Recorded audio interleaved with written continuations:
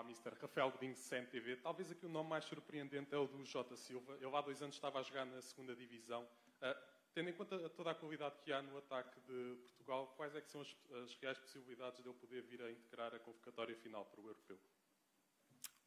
Olá, Rafael. Uh, acho que o, o, Jota, o Silva é um jogador uh, diferente. Uh, gosto da versatilidade, trabalha muito duro, competitivo, mostra o seu caminho.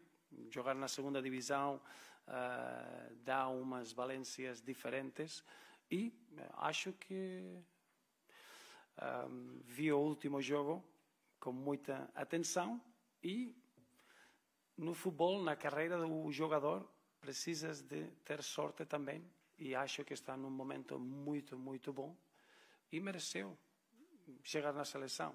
Uh, no futebol, quando está numa equipa que está a jogar bem, que está uh, com, com uma, uma dinâmica boa, acho que o Jota representa isso e é um exemplo para jogadores que não jogaram nas nas seleções um, jovens, mas agora está a um nível que, que mereceu estar na seleção. Um bom exemplo.